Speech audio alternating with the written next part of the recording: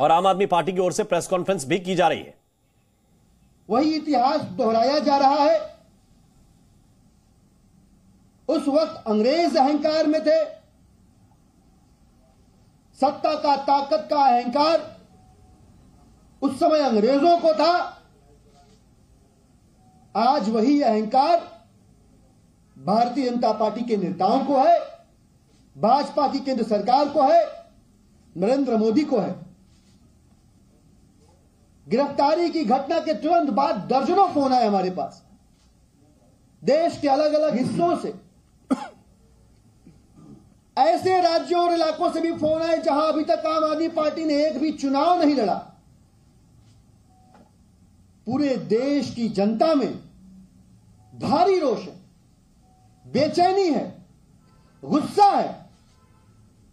मैंने कहा लोगों से, पूछा, आप क्यों परेशान हो रहे ठीक हो जाएगा। बोले, नहीं बात सिर्फ़ इतनी सी नहीं है कि आम आदमी पार्टी हमारे ज़िले में, हमारे राज्य में नहीं है। आपने जो दिल्ली में किया, आप जो पंजाब में कर रहे हैं, हम नाउमीद हो चुके लोगों के दिल में। आपने दिया रोशन किया है उम्मीद का। हमारे बच्चे उम्मीद भरी आँखों से, विश्वास भरी आँखों से हमारी ओर देखते हुए कहते हैं कि मम्मी, ये लोग आएँगे, पापा, ये लोग आएँगे।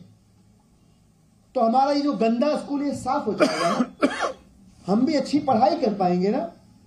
मम्मी, हमें आपकी तरह मजदूरी तो नहीं करनी पड़ेगी। पापा, हम भी आईटी में एडमिशन लेंगे, दाखिला लेंगे डॉक्टर बनेंगे इंजीनियर बन पाएँगे ना। आज भारतीय जनता पार्टी ने सिर्फ़ दिल्ली नहीं, देश के उन लाखों करोड़ों लोगों के दिल में जल रहे उम्मीद के दिए को बुझा दिया।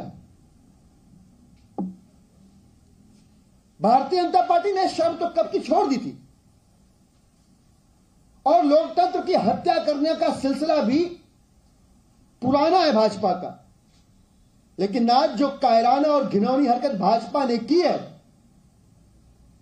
दिल्ली के 20 लाख परिवारों की आहत तो लगेगी ही। पूरा देश भाजपा को दिल से धिक्कार रहा है और तैयार बैठा हुआ है।